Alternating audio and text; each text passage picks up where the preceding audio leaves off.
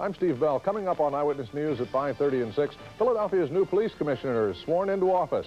City union leaders say the recreation center in your neighborhood will look like this if they don't get the contract they want. Also, health and science editor Max Gomez answers your medical questions on Healthline. If you're headed for the Jersey Shore this weekend, you won't want to miss our latest Channel 3 ocean test results. And Linda has the weekend weather coming up. That's on Eyewitness News at 5.30 and 6.